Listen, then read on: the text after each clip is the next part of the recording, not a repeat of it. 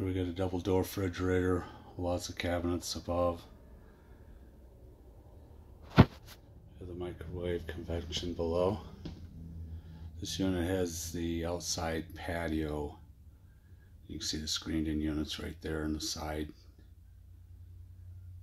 It's got a dual drop down beds.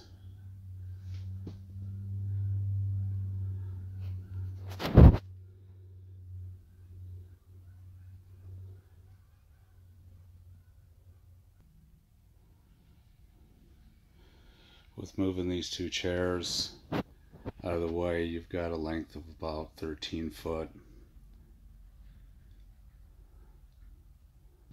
Now we'll go up into the front of the unit.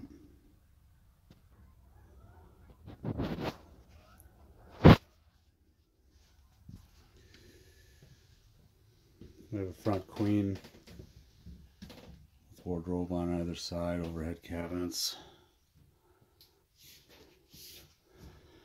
In the bathroom, you have the sink, stand up shower. It's above.